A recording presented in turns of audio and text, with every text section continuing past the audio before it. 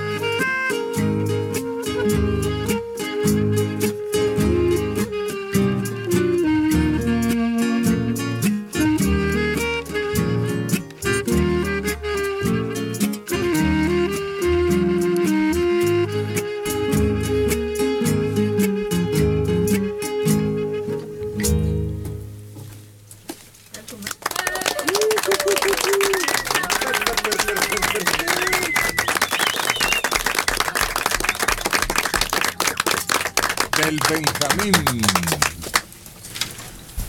Sí, el tema de viajera. El Ben... ¿Qué? el tema de viajera, de Benjamín. No, el Benjamín. El Benjamín.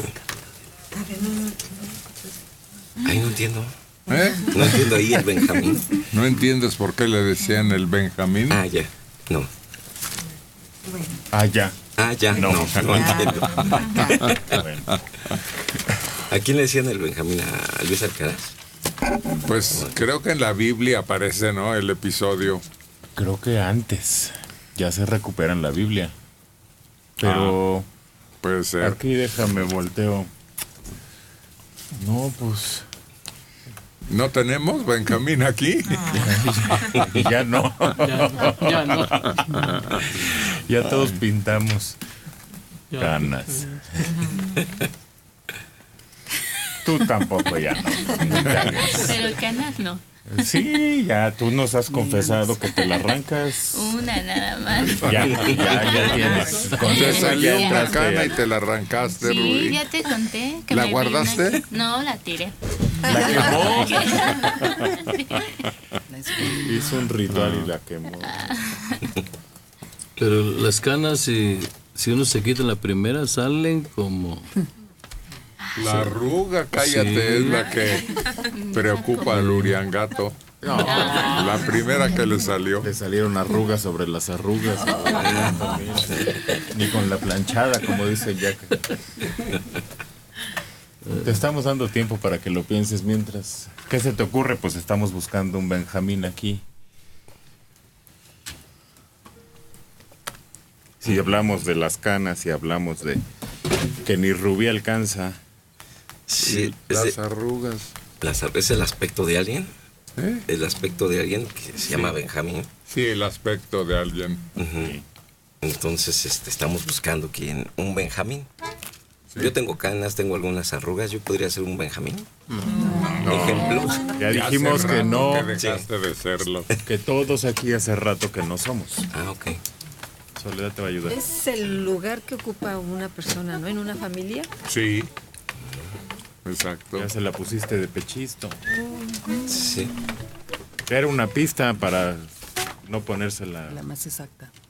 la mesa servida. Como La el- canción se llama Viajera y el compositor es Luis Arcaraz.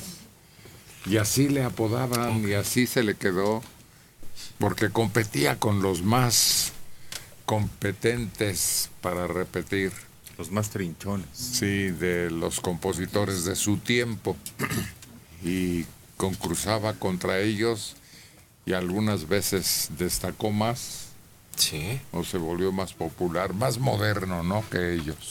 Sí, pues es que era el Benjamín. Oye, es que en esa época estaba Esparza Oteo, Tata Nacho, Agustín Lara. Estaban muchos, pero ya tenían carrera. Eso no importa. Este era el Benjamín. ¿Por qué? Pues Bueno, déjenselo de tarea y que ahí que lo averigüen en su casa. A ver si al rato se le prende el foco. por ser el, el más joven de los de los este, directores de orquesta, No, compositor. compositor. No como director. Como compositor era Benjamín. 67 años en Tlanepantla, Evangelina Peña López. La historia del Benjamín. En la Biblia se habla de los doce hijos de Jacob y el último es Benjamín. Por eso, al más chico o último de una familia se le llama Benjamín.